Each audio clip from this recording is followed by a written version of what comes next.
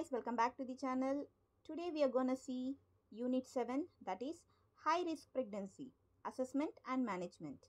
What are the risk things related to the pregnancies? How we are gonna assess them, how we, how we are gonna find them and how we can manage them. From this chapter you will get 7 marks totally that is one question for 5 marks, one question for 2 marks. So totally 7 marks if you read this chapter you are perfect with 7 marks i would like to inform the first topic is screening and assessment which i have been already finished in the previous chapter. That is non invasive and invasive test.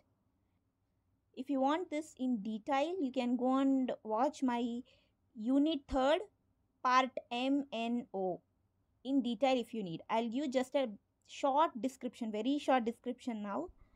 If you want really a deep one you can go and watch there now first nst that is non-stress test. This examination is performed to see the fetus heart rate. And uh, by the name itself you get to know non-stress. In the sense we will never give any impulse or any pressure from outside. We will wait till the baby reacts and see how the heartbeat of the baby is present in the inside the womb. Next is cst this is contraction stress test. In this, we will provide contraction, we will provide impulse on the mother's womb and we will see how the baby is reacting, how the baby's heart rate is increasing. And next is USG, ultrasound sonography or ultrasonography. In this, we will see any defect is present in the baby, whether the baby is growing well or not is there any problem is baby suffocated is baby is any um, different position not in the uh, proper position. If there is any malpositions we will come to know here. This three examination is very important. Apart from this i'll give few test names which will be useful in the examination purpose okay? Fetal biophysical profile modified biophysical profile fetal movement count umbilical blood sampling. At the time of pregnancy, there is one condition which is seen very frequently in the pregnant women that is hyperemesis gravidarum. Hyper means more, emesis means vomiting, gravidarum means during pregnancy. So, during the pregnancy, the vomiting sensation is seen, but there are many women who undergoes excessive vomiting. Because of this excessive vomiting, there will be weight loss which is clearly visible. And uh, because of this, there will be water imbalance that is electrolyte discharge imbalance and even ketonuria. The cause for this is hormonal change and psychogenic change.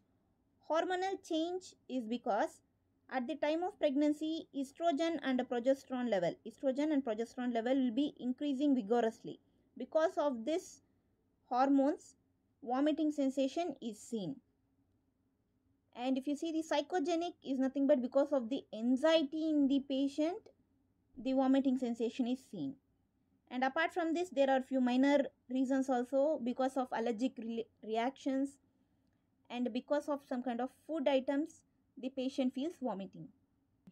Sign and symptoms of hyperemesis gravidarum.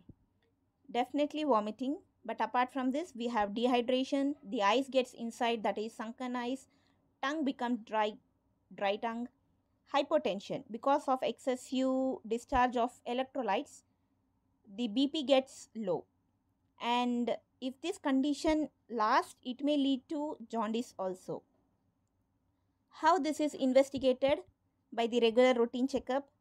Do remember at the time of investigation, first we will take the patient's previous history, physical examination. This will be performed. Apart from this, you need to even note down that also. Apart from this, we will do blood examination, urine analysis, liver dysfunctioning test, circulatory changes that is vital signs if we check we will get to know those changes mainly ecg and usg is performed management of hyperemesis gravidum. These are the three principles and these three principles are not only for this condition. You can use this principle for any conditions. For example you are here to control the vomit okay? That is hyperemesis gravidum. We will control it in two ways. One with the use of medicine and one with the use of diet and all. That is non pharmacological method. One is pharmacological method. Apart from controlling the main thing we will even see these symptoms to control. Like because of vomiting we have dehydration electrolytic imbalance. We will even try to control those things also. After controlling this we will try to reduce the danger complications. In leading further there may be many danger complications so we need to control it as soon as possible. This is what we will do in management of any kind of disease.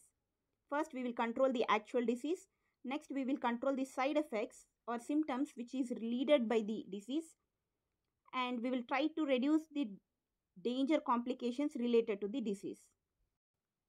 Pharmacological methods. Generally, we use ondansetron to stop the vomiting sensation. Apart from this, we have other two too. Those are phenothiazine and metoclopramide. This both also helps to stop the vomit immediately. If the diet pattern doesn't work, we furtherly provide those medicines. With vomiting, you can commonly see dehydration. They both are very best friends. Starting with IV fluids and multivitamin tablets, even if in this condition the patient is not regaining, the patient is very dehydrated, then we will provide dimenhydrinate.